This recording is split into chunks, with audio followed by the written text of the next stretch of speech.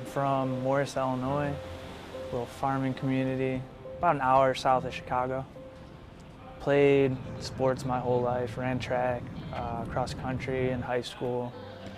I never really thought of the military as an option for me. I was just kind of following the path that you're supposed to follow, high school, then college, then get a job.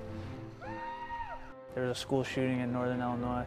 I lost a buddy that was involved in that shooting, and the way that he passed was he got shot saving his girlfriend's life. And it kind of altered my perception, I guess, on what I was doing. Once I got accepted and chose what I wanted to do, I was at boot camp 13 days after that. I was a ET radioman on submarines. There was a fire on board the USS Miami while we were in dry dock. I was in half my uniform. I grabbed my stuff and started heading towards base. I reported, and the last thing my wife said to me that night was, don't go in that submarine. And it was hard to look her in the face and tell her I can't make that promise. I have to, I have to do what I gotta do here, you know? And um, grabbed some fire hoses, reported to the Miami, uh, the port side of the Miami, and I kind of put myself in charge, started routing hoses and kind of directing traffic, you know, what we needed to help combat the fire. And by that time, the fire had spread to almost the entire forward half of the submarine. The, the flames and the smell and the parts of my uniform were melting from the heat and things like that. I didn't know I had like a PTSD or an anxiety or anything like that going on, but my wife started noticing if a fire truck drove by, I was up on my feet looking, making sure they weren't going to base because it would always stick in my head that maybe they're heading to base, maybe something else happened. When we left shipyard, uh, there was another fire drill and I rolled out of my rack.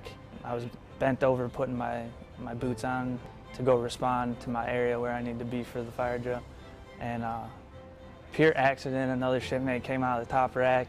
It's a fire drill, so it's chaos, and he just didn't look before, came down, and I took both of his heels straight to the base of my neck and my skull, and it bounced my head in between my legs. Eventually was diagnosed with mild traumatic brain injury from it, lost uh, a lot of memories and things like that. Um, I don't remember my kids being born, but I know I was there. The other part of that, when you have a head injury, you become really susceptible to depression. Almost a year after I got hit in the head, almost a year exactly actually, I uh, broke my foot at a beach outing. It was misdiagnosed for three months as a sprained ankle. So the bones were broken and they were just kind of sawing away at everything around it inside my foot. And by the time it was caught, it was too late. I'd already developed uh, it's called complex regional pain syndrome. Some people call it RSD. Basically, my brain thinks my foot's still broken to this day. So when I run, when I swim, when I do anything on my feet, when I walk, my brain thinks it's broken, so it sends pain signals. Um, the problem there is the medical community doesn't know a whole lot about it. They don't know how to cure it. They don't know why it happens. They aren't really sure. It's probably the hardest injury to deal with is I've done medication. I've had injections in my spine to try and help the pain. I've done, I've got a spinal cord stimulator implanted in my spine right now, and none of it seems to be working. The year before I broke my foot, they are calling for volunteers to be sponsors for athletes for uh, the Navy team trials out there. So I signed up and I sponsored an athlete. And then I broke my foot, and the people that run the program already knew me from sponsoring.